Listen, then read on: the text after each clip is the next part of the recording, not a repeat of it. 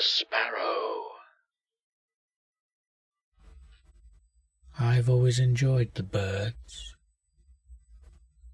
In the northern United States, on a dark December night around 11 o'clock, walk down a residential street.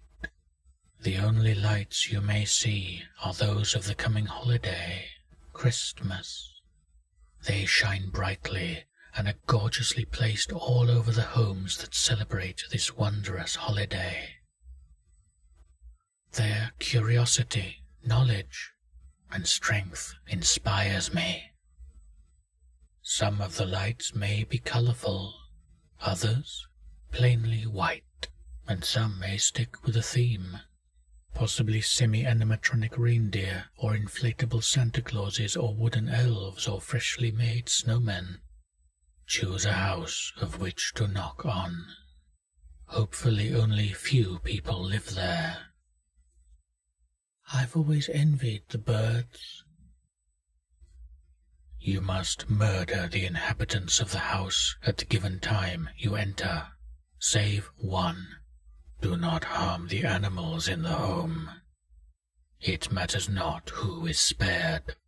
Do nothing with the dead, but take the spared one outside into the cold. Embrace the feeling of warm blood mixed with the chilling breeze. Their flight, agility, and protectiveness angers me.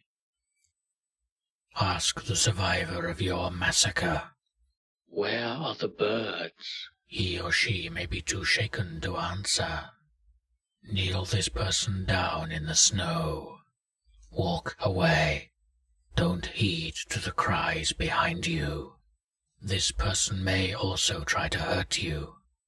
Take the abuse. You deserve it.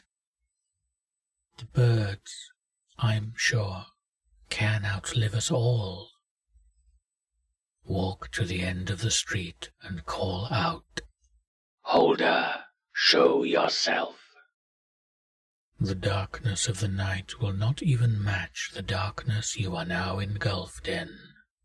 The cold is replaced with humid air. The noise you hear now is of the birds, every single diverse type. Hopefully, you know quite a bit about them. The birds are the only friends I have. The lights will slowly turn on and you will see all in this massive room. You will see me in all my glory, a simple scarecrow. The fear I once struck in all birds alike is now replaced with an everlasting love for them. Approach me slowly, just don't frighten the birds.